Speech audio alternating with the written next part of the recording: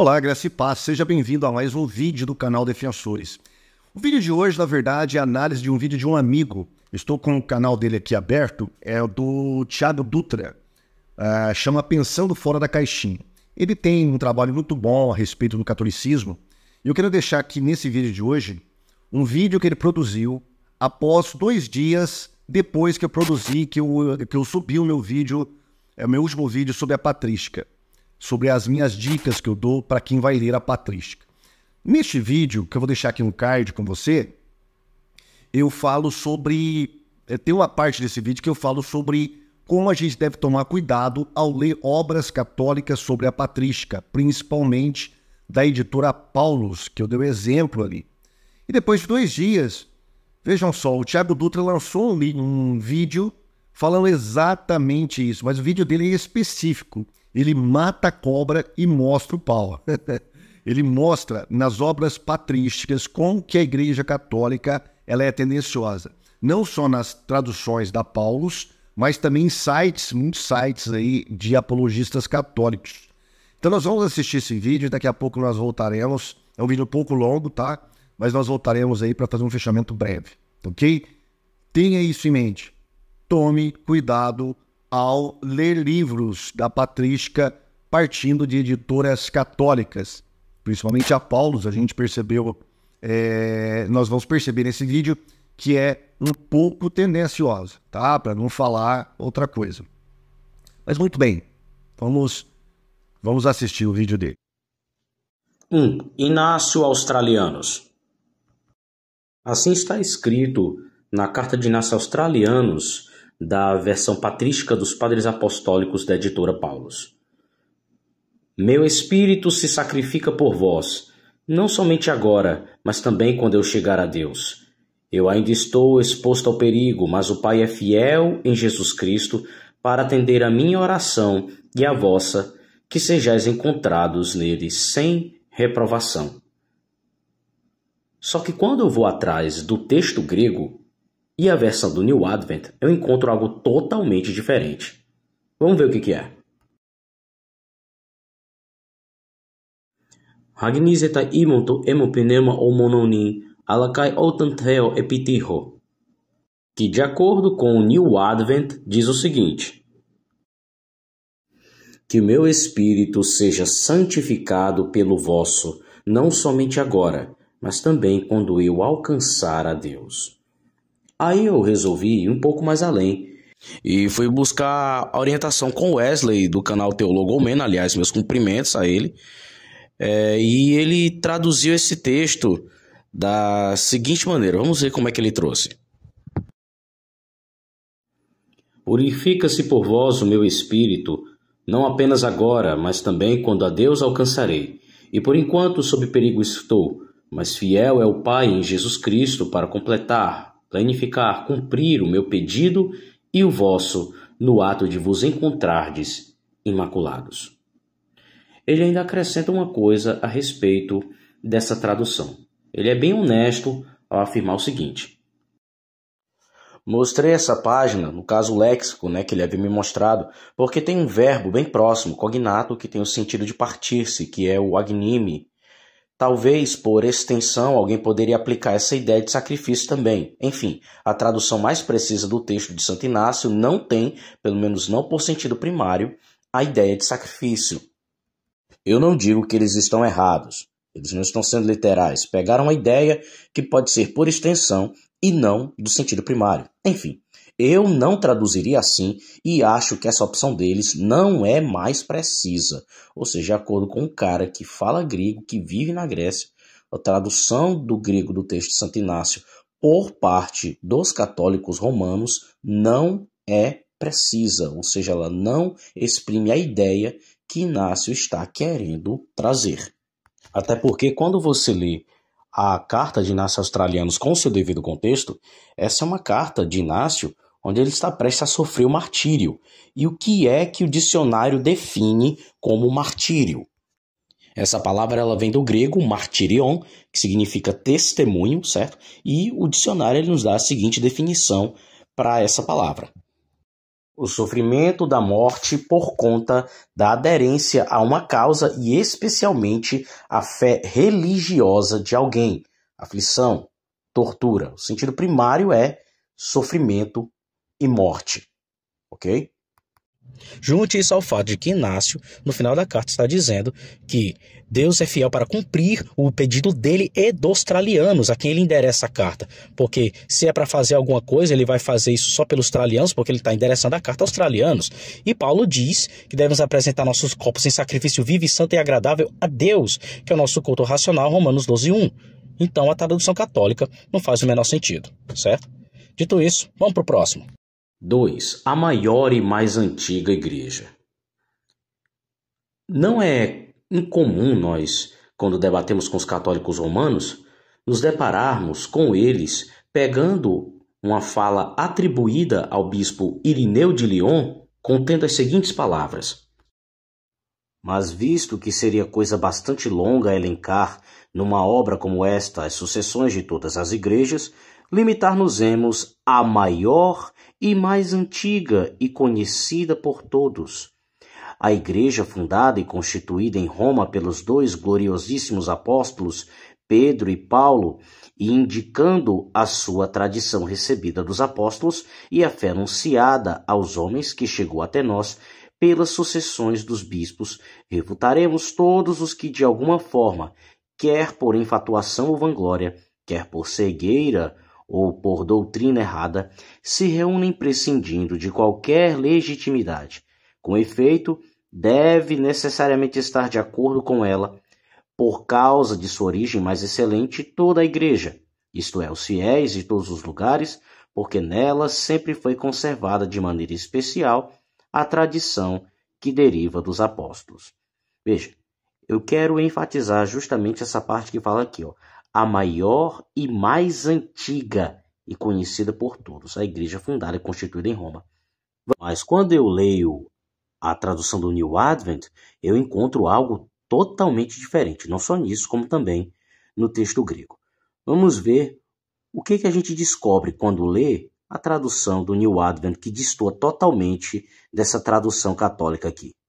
A versão do New Advent assim diz: como, no entanto, seria muito tedioso em um volume como este contabilizar as sucessões de todas as igrejas, nós confundimos todos aqueles que, de qualquer maneira, seja por um egoísmo maligno, ou por vanglória, ou por cegueira e opinião perversa, se reúnem em reuniões não autorizadas.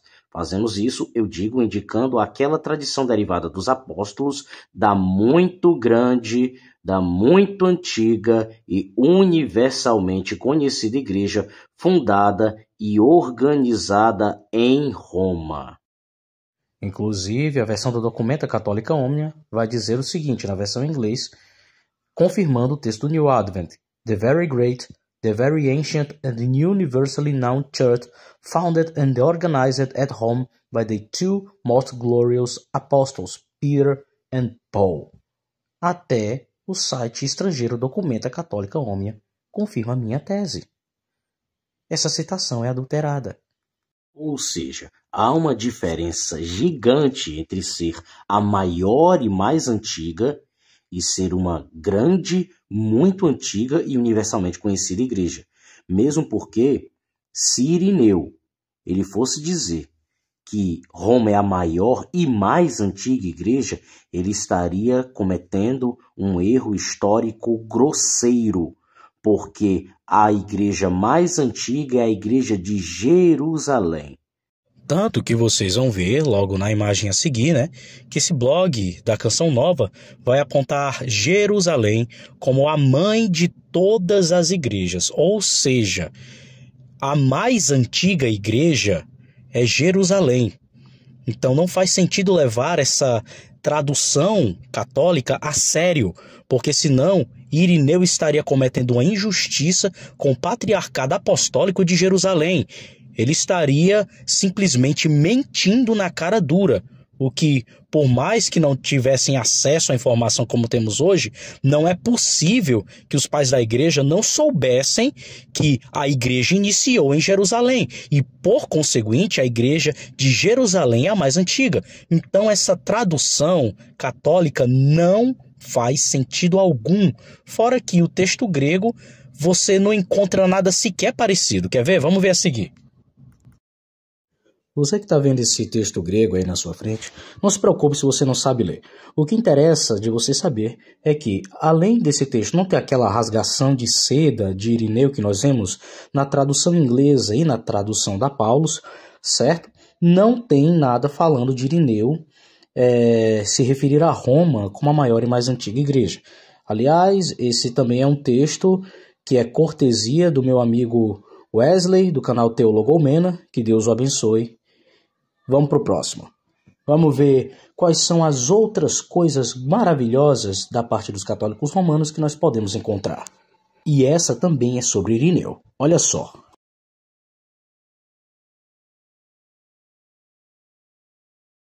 Segue agora o texto que eu encontrei em um artigo da Pontifícia Universidade Católica do Rio de Janeiro. Diz assim: ó, surge então a referência a Irineu, que, como bispo da Gália, no intermédio entre o Oriente, visto que era natural de Esmirna, e o Ocidente, porque era bispo da Gália, decide-se por estabelecer relações diplomáticas entre as igrejas. Dos parágrafos 11 a 18, Eusébio, ele está dizendo aqui que foi Eusébio que narrou, narra a intervenção de Irineu, que escreve em nome de sua igreja, ou melhor, em nome dos irmãos que ele dirigia na Gália. Primeiro, afirmando que somente no domingo se deve celebrar o mistério da ressurreição do Senhor. Em seguida, exorta delicadamente Vitor a não apartar da comunhão igrejas de Deus inteiras que conservam a tradição de antigo uso. Veja, está dizendo aqui que Irineu exortou a Vitor delicadamente, como se desse uma ideia de submissão ao bispo de Roma. Aliás, a página Apologistas da Fé Católica, nesse artigo de autoria do professor Paraíba, vai dizer o seguinte, repetindo a mesma coisa: exorta Irineu delicadamente a Vitor a não apartar da comunhão igrejas de Deus inteiras. Ora, se Irineu exorta a Vitor a não apartar, é porque Vitor poderia efetivamente apartar? É porque Vitor estava investido de autoridade para apartar? É porque Vitor era papa reconhecido? Mentira, professor Paraíba. E eu vou mostrar por que, que é mentira. Mais uma vez, eu trago à baila o texto grego de história eclesiástica. Você não precisa saber ler grego. O que interessa é que há três palavras importantes que precisam ser destacadas. Quais são? Plektikoteron, kataptomenon, prosekontos. Nós vamos ver o que é que significam essas palavras de acordo com os dicionários de grego. A primeira palavra destacada é plektikoteron, que significa golpeando, pronto para golpear, dado ao golpe. Uma metáfora golpeando os sentidos, dominando, né, impressionando a mente, impressionante. Não vou me deter muito, vocês podem depois pausar para lerem com mais calma o significado da palavra. A próxima palavra é cataptomenon. Quando você vai ver ali na segunda definição, está dizendo atacar, atingir, censurar, mais acima está dizendo abordar ou atacar. E eu sei que pode ter algum engraçadinho dizendo, ah, mas está dizendo, o seu abordo se dirige a ele com palavras gentis, também está dizendo ali. Mas também está dizendo logo em seguida que é assalto ou ataque, porque uma palavra grega pode significar várias coisas dependendo do contexto. O que vai mandar é uma coisinha que eles menosprezam, né, de nome semântica. E a próxima palavra, obviamente, é prosécontos, que significa adequadamente, apropriadamente, devidamente, como convém. E não é à toa que, por conta disso, o texto do New Advent vai dizer o seguinte: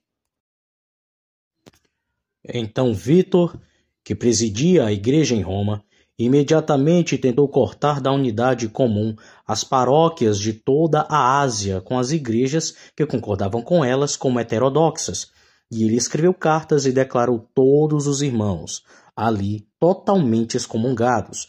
Mas isso não agradou a todos os bispos, e eles imploraram que ele considerasse as coisas da paz e da unidade e amor entre vizinhos. Palavras deles existem, repreendendo Vitor severamente.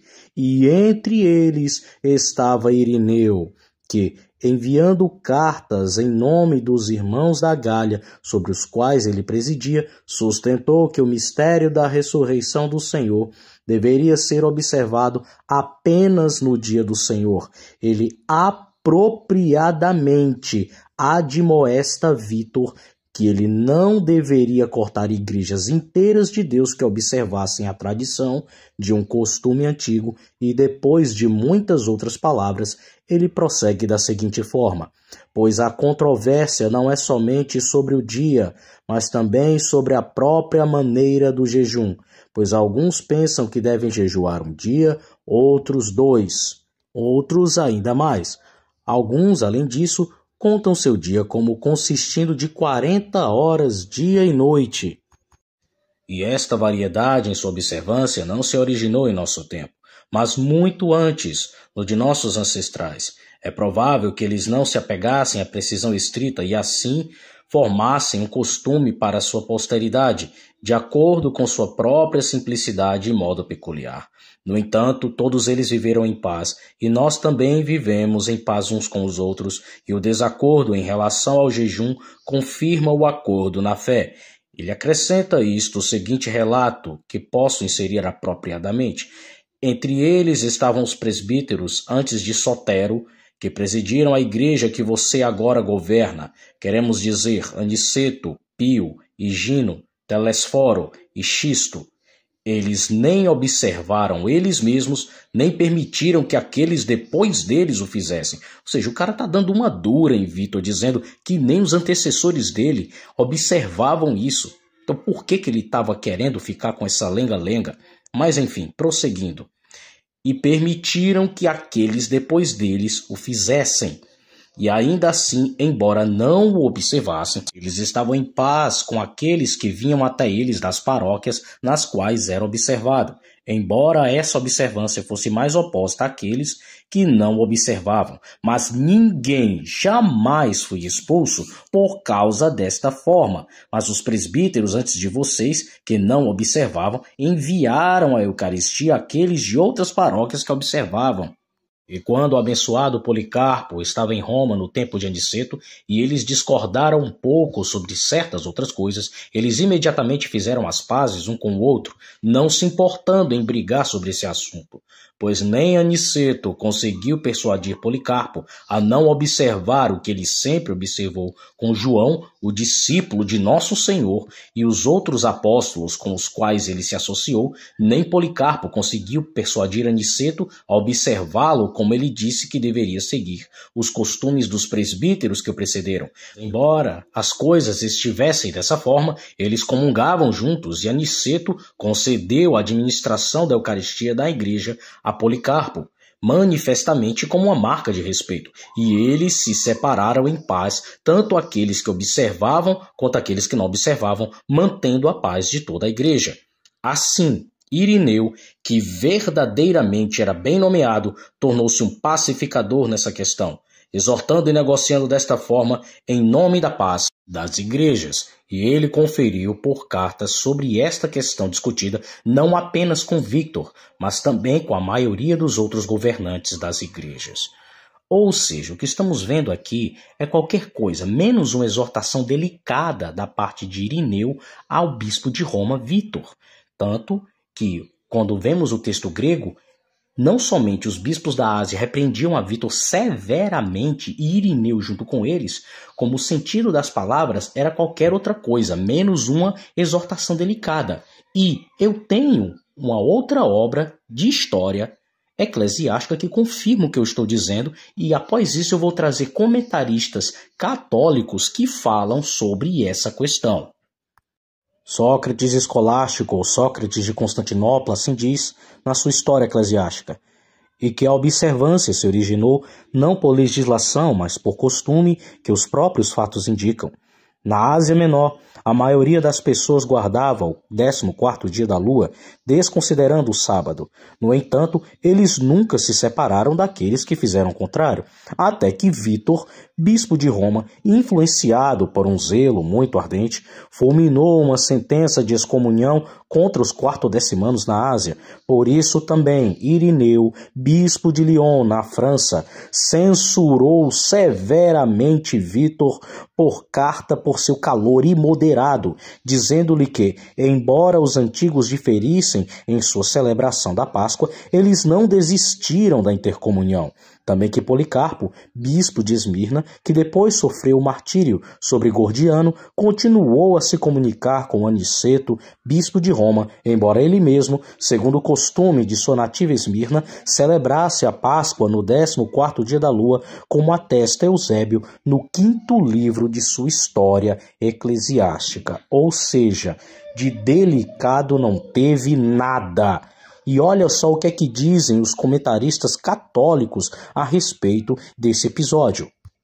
O jesuíta Klaus Schatz diz o seguinte: se alguém tivesse perguntado a um cristão no ano de 100, 200 ou mesmo 300 se o bispo de Roma era a cabeça de todos os cristãos ou se houve um bispo supremo sobre todos os outros bispos e que teria a última palavra em questões que afetam toda a igreja, ele ou ela certamente teria dito não.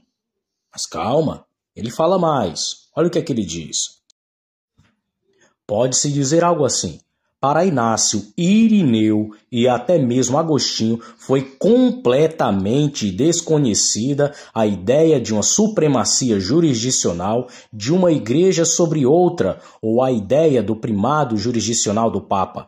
Não conhecem um bispo sobre outros bispos, e etc., quando mostram os testemunhos em favor de uma certa valorização da comunidade romana, expressados na maioria das vezes em categorias não jurídicas, uma vez que são medidos com o conceito de primazia de tempos posteriores ou do Vaticano I, concluiu-se que não é possível estabelecer a primazia sobre tais testemunhos. E o engraçado é que eles vêm com a de hominem, falácia genética, dizendo: ah, mas não, eles não são católicos de verdade, aplicam também a falácia do escocês, não é? Aí o que acontece? Sempre que um católico honesto ele fala coisas que vão contra a caricatura pintada pelos papistas, eles vêm com essa história de que eles não são católicos que estão falando a realidade da coisa, porque tudo que refuta eles, o pensamento deles é exatamente o de Roberto Bellarmino. Tudo que refuta a igreja de Roma é reputado como falso. Mas o que importa não é o que eles pensam, porque a realidade, a verdade da história é uma só e não pode ser reescrita. Vamos ver o que é que dizem outros historiadores católicos sobre isso. William Ladu, em sua obra Cátedra de São Pedro, na página 28, vai dizer o seguinte: para ele, Irineu, são as igrejas de fundação apostólica que têm o maior crédito de ensino autêntico e doutrina. Entre essas estava Roma, com seus dois fundadores apostólicos certamente ocupando um lugar importante. No entanto, todas as igrejas apostólicas desfrutam da autoridade preeminente em questões doutrinárias. Ou seja, segundo o autor católico aqui, não era só Roma que tinha autoridade preeminente, mas todas as igrejas conectadas com os apóstolos, e Roma era apenas uma delas. Mas agora eu vou trazer a maior autoridade de história eclesiástica do século XIX que os católicos romanos, principalmente os apologistas e militantes, odeiam. E quem é ele?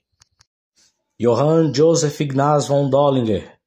Assim diz: Comparemos, em contraposição ao que levamos exposto, o silêncio da Igreja Antiga só Irineu é quem, durante os três primeiros séculos, procura harmonizar a preeminência da Igreja Romana com a doutrina eclesiástica. Mas fique bem entendido que, para ele, a preeminência não consiste senão na sua antiguidade, na sua dupla origem apostólica e no fato de que ali mantém e contrasteiam a doutrina pura os fiéis que afluem de todas as regiões. Ou seja, a ideia da autoridade preeminente dita por Irineu segundo o próprio historiador católico, que é a maior autoridade em história eclesiástica do século XIX, não era porque ele era submisso à Igreja de Roma, mas sim por conta da sua fundação apostólica, que não vinha somente dela. Agora tem outro historiador que joga pá de cal nessa história de delicadamente.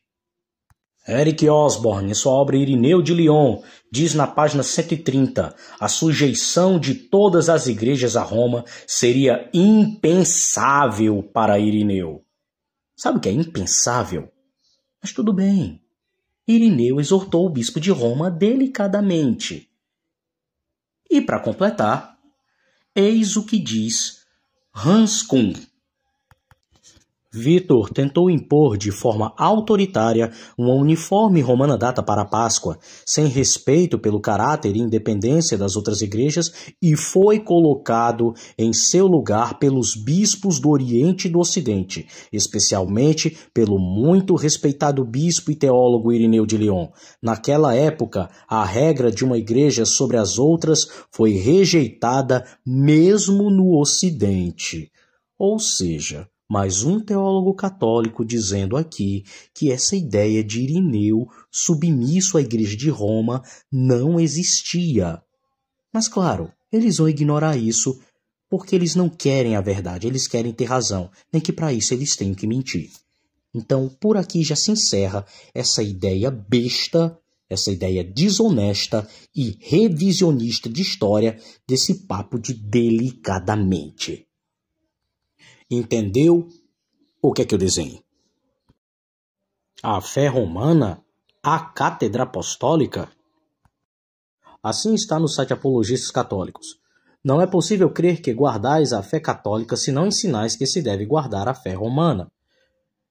A Epístola 43, 3 e 7 vai dizer assim, né? Viram que Ceciliano estava unido por cartas de comunhão à Igreja Romana, na qual sempre residiu a primazia da cátedra apostólica. Mas será que é realmente isso que as traduções dizem? Vamos ver, vamos conferir. A primeira citação, na verdade, diz isso aqui, ó. Volte para mim, fraqueza humana.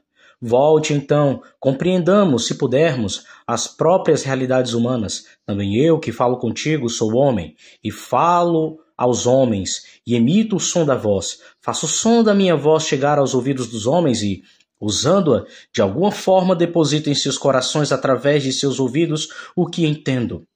Portanto, vou falar o que puder, como puder. Vamos entender isso. Mas se não conseguirmos nem entender isso, o que somos diante da palavra? Veja se você está me ouvindo. Eu me dirijo a você. Se um de vocês sair daqui e alguém de fora lhe perguntar o que faz aqui, ele responderá: O bispo está conduzindo a palavra. Eu falo a palavra sobre a palavra. Mas que palavra? Sobre que palavra? Uma palavra mortal sobre a palavra imortal uma palavra mutável sobre a palavra imutável, uma palavra temporal sobre a palavra eterna. No entanto, preste atenção à minha palavra. Na verdade, eu lhe disse que a palavra de Deus está em toda parte. Veja que falo com você. O que digo chega a todos, talvez para que o que eu digo chegue a todos, vocês dividiram? Se eu estivesse alimentando você, querendo encher a sua mente, não a sua barriga, e lhe oferecesse pão com o qual você ficaria satisfeito, você não dividiria o meu pão entre vocês? Todos os meus pães poderiam chegar a cada um de vocês? Se eles alcançassem apenas um, o resto ficaria sem nada. Veja do que estou falando. E todos vocês conseguiram. É um eufemismo dizer que todos vocês fizeram isso. Deve-se acrescentar que todos vocês têm tudo. Tudo vem para todos, tudo vem para cada um. Ó oh, maravilhas da minha palavra! O que é então a palavra de Deus? Ouça outra coisa. O que eu disse veio até você, mas sem se afastar de mim. Ele veio até você, mas não me deixou. Antes de eu dizer isso, eu tinha não você, Eu falei e você começou a ter, mas não perdi, mas não perdi nada. Ó oh, milagre da minha palavra! O que é então a palavra de Deus? Adivinhe o grande do pequeno. Considere as coisas terrenas e louve as coisas celestiais. Eu sou criatura, vocês são criaturas, mas quantas coisas maravilhosas acontecem em relação à minha palavra no meu coração, na minha boca, na minha voz, nos meus ouvidos, nos seus corações. O que é o Criador? Ó oh, Senhor, ouça-nos, repare-nos, já que você nos criou. Faça-nos bons pois você nos fez homens iluminados. Estes vestidos de branco, iluminados, ouvem a tua palavra através de mim. Na verdade, iluminados pela tua graça, eles estão na tua presença. Este é o dia que o Senhor trabalhou, mas faça um esforço, reze para evitar que, passadas essas datas, aqueles que se tornaram luz dos milagres e benefícios de Deus retornem às trevas. Eu li a passagem toda na íntegra, justamente para que vocês vejam que a tal da fé romana não está sendo mencionada em lugar nenhum. Primeira adulteração já foi para o saco. A segunda citação, segundo New Advent, diz: Pois, se na verdade a consideração pela paz tivesse algum lugar em seu coração, ele não teria se juntado depois em Cartago àqueles traficantes que ele havia deixado ao julgamento de Deus quando eles estavam presentes e confessado a sua falta ao passar sentença pelo mesmo crime sobre outros que estavam ausentes e contra os quais ninguém havia provado acusação. Ele estava fadado, além disso, a ter mais medo naquela ocasião de perturbar a paz, na medida em que Cartago era uma cidade grande e famosa, da qual qualquer mal originado ali poderia se estender, como da cabeça do corpo, por toda a África. Cartago também estava perto dos países além-mar e distinguia-se por ilustre renome, de modo que tinha um bispo de influência mais do que comum, que podia se dar ao luxo de desconsiderar até mesmo uma série de inimigos conspirando contra ele, porque ele se via unido por cartas de comunhão tanto a Igreja Romana, na qual a supremacia de uma cátedra apostólica sempre floresceu, quanto a todas as outras terras das quais a própria África recebeu o Evangelho e estava preparado para se defender diante destas igrejas e seus adversários tentassem causar uma alienação delas dele. Ou seja, não é da, é de uma. Porque quando fala da, dá a entender exclusividade, singularidade, mas quando você usa o artigo indefinido, essa ideia de exclusividade simplesmente vai para o ralo. A segunda adulteração foi para o saco, e é segundo o próprio New Advent, que é a maior biblioteca patrística católica da internet. Vamos para o próximo. O trono apostólico esse site católico estrangeiro diz que Santo Atanásio, segundo o próprio, chama Roma de o trono apostólico. Essa referência está em História dos Arianos, né? mas vamos ver se realmente essa referência diz isso.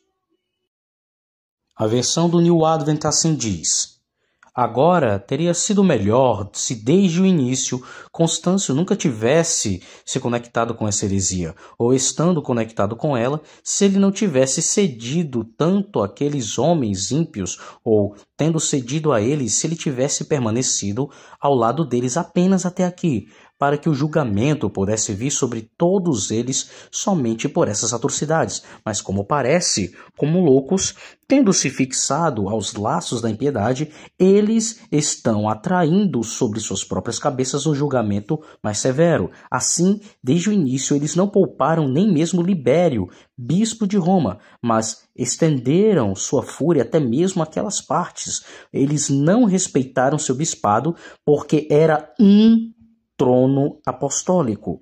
Eles não sentiram reverência por Roma, porque ela é a metrópole da Romênia.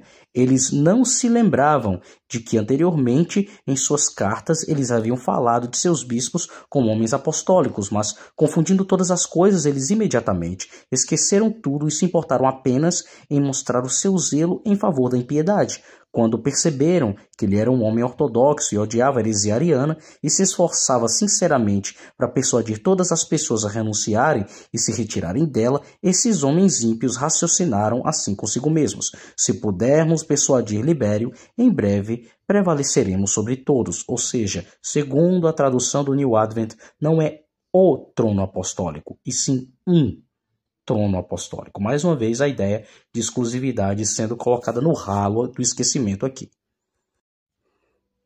A carta adulterada de Atanásio.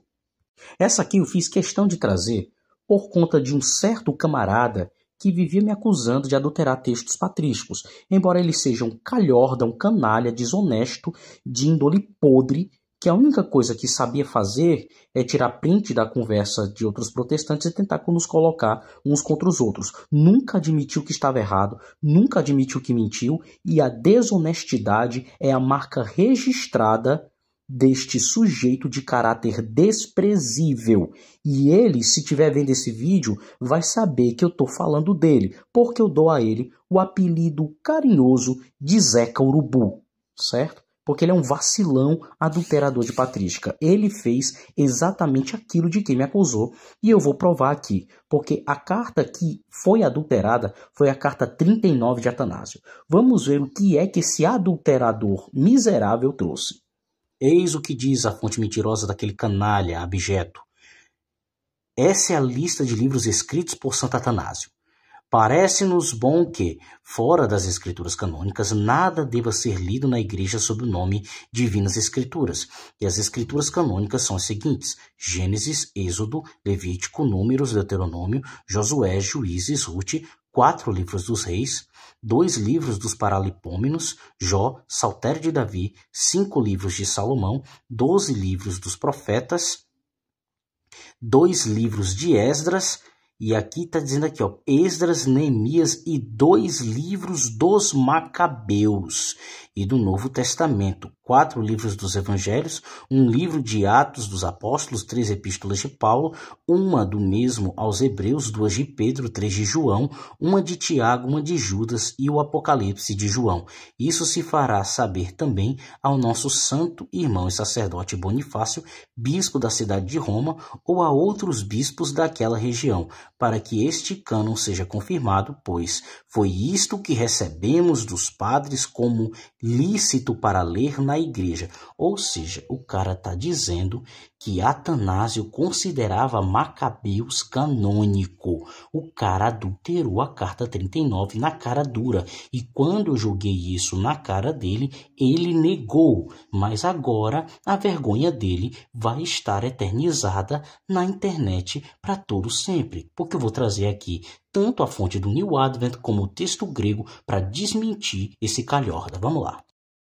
O site New Advent assim diz: Há então, do Antigo Testamento, 22 livros em número, pois, como ouvi, é transmitido que este é o número das letras entre os hebreus. Sua respectiva ordem e nome são seguintes: o primeiro é Gênesis, depois Êxodo, depois Levítico, depois Números e depois Deuteronômio.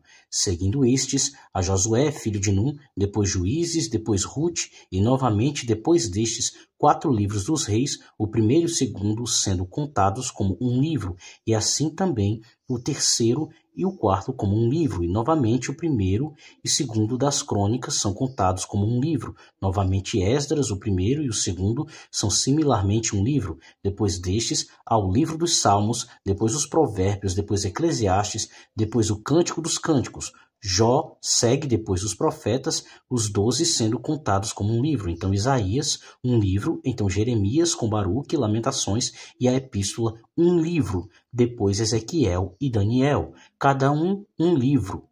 Até aqui constitui o Antigo Testamento, ou seja, Atanásio não citou Macabeus, seu adulterador de patrística canalha. E tem mais, ele continua dizendo, ó, Mas, para maior exatidão, acrescento isto também, escrevendo por necessidade que há outros livros além destes, não incluídos no cânon, mas designados pelos padres para serem lidos por aqueles que se juntam a nós recentemente e que desejam instrução na palavra da piedade, a sabedoria de Salomão e a sabedoria de Siraque, e Esther e Judite e Tobias, e o que é chamado de ensino dos apóstolos e o pastor, no caso, pastor de Hermas mas os primeiros meus irmãos estão incluídos no cânon, sendo os últimos meramente lidos. Nem há em nenhum lugar uma menção de escritos apócrifos, mas eles são uma invenção de hereges que os escrevem quando escolhem, concedendo-lhes sua aprovação e atribuindo-lhes uma data para que, usando-os como escritos antigos, possam encontrar ocasião para desviar os simples. Ele não só não menciona Macabeus como canônico, mas também ele diz que o restante dos livros da Bíblia Católica, excetuando Baruch, não é canônico. Então, como é que ele se atreve a falar uma, uma besteira dessa? Esses caras, eles não querem nem saber da verdade, eles querem ter razão, nem que para isso precise mentir. Tanto é que olha o que é diz o texto grego, ó. Esse, meus amados e queridos irmãos, é o texto grego, é a primeira parte daquela passagem que eu citei, certo? Onde Atanásio ele lista todos os livros que ele considera canônicos do Antigo Testamento. E se você conseguir encontrar essa palavra Macabaioi, ou seja, Macabeus, nesse texto, eu viro católico agora. Porque essa palavra simplesmente não existe no texto grego. Não se preocupe, eu vou disponibilizar todas as fontes, todos os links, para que vocês possam conferir pessoalmente tudo aquilo que eu estou falando aqui. Não se preocupem, certo? Aí a segunda parte vai dizer o seguinte, confirmando exatamente o que eu falei. A segunda parte tem três palavras destacadas, ok? São rou canonizomena men, não canonizomena, inflexão de canonizômenos incluídos no cano canonizados e men de fato, ou seja, segundo o texto grego aqui que eu trouxe, Atanásio não considera os livros da Bíblia católica canônicos, exceto Baruch. Isso aqui é um tapa na cara dos adulteradores de textos patrísticos. Eu não quero nem saber, eu quero só ver o choro depois que esse vídeo terminar. E agora, a cereja do bolo. Nec originale.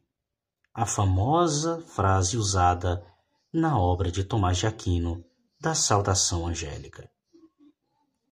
O blog católico permanência.org diz assim: No último período de sua carreira, em 1272 ou 1273, Santo Tomás, ao escrever a Expositio Super Salutatione Angelicam, certamente autêntica, olha só, diz certamente autêntica, diz: Ipsa enim beata virgo purissima fuit et quanto ad culpa quia nec originale, nec mortale, nec veniale peccatum incurrit. Ou seja, ele está dizendo que essa citação é autêntica. No entanto, quando eu vou lá para o site Corpus Tomístico, a história é outra totalmente diferente. Vejamos. Assim diz o site Corpus Tomístico. Ipsa enim purissima fuit et quantum ad culpam, quia ipsa virgo nec mortale nec veniale peccatum incurrit. Ou seja, o tal do nec originale não tem aqui.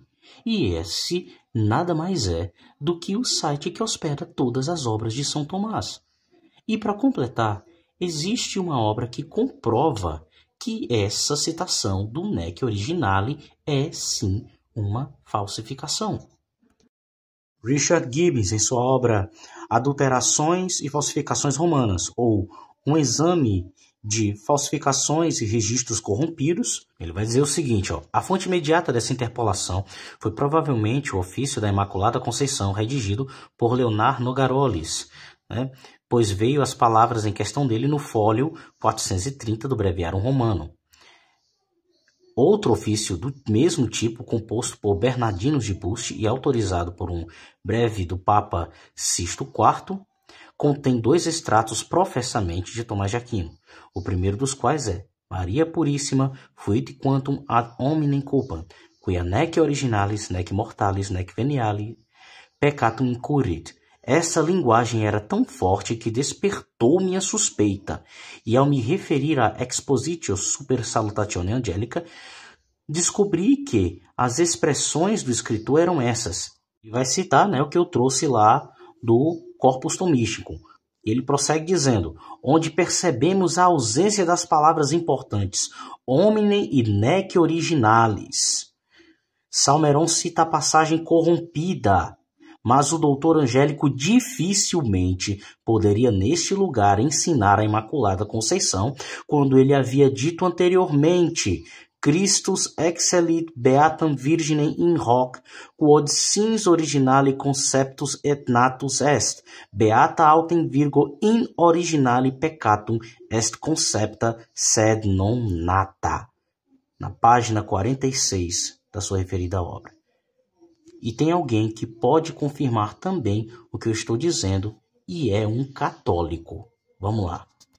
O famoso teólogo Garrigou Lagrange vai dizer o seguinte: existe contradição entre esse texto e o que parece bem autêntico e as linhas mais abaixo. É inverossímil que a poucas linhas de distância se encontre o sim e o não. A dificuldade se desaparece quando se tem em conta que para São Tomás a concepção do corpo, no início da evolução do embrião, precede em pelo menos um mês a animação, que é a concepção passiva consumada, antes do qual não existe a pessoa pois ainda não existe a alma racional. Então, segundo Garrigou Lagrange, certo? É improvável que Tomás tivesse caído em contradição em tão poucas linhas, tendo afirmado a tese e a antítese. Isso por si só já desmonta a ideia de que Tomás de Aquino tenha mantido é, a sua crença na Imaculada Conceição Pois é, você viu aí quantas provas ele citou, né? Um vídeo excelente. Agora você não tem mais é, desculpa para falar, olha, eu fui enganado. Não, você está sabendo que você pode ser enganado também lendo obras patrísticas através de traduções católicas. É, tome cuidado, tome cuidado, muito cuidado mesmo ao estudar a patrística. Se você não assistiu o meu vídeo, meu último vídeo, assista sobre a patrística, onde eu dou várias dicas, várias, faço várias observações a respeito da leitura que alguém possa querer se aventurar a fazer nas obras dos pais da igreja. Os pais da igreja são bons para a nossa teologia, para, para compreendermos a história da igreja? Sim, por um lado é excelente, é muito bom. Por outro, nós temos que tomar cuidado. Seguir a observação de Paulo. Examinar tudo, retende o que for bom. Ok? Se você gostou do vídeo, deixe o seu like, seu comentário. Não esqueça de acionar o sininho aí para ser notificado quando tiver vários é, outras, outras é, postagens nossas. E assim você estará sendo vacinado contra as seitas e suas heresias. No caso, a heresia católica. Fica com Deus e até o próximo vídeo. Tchau.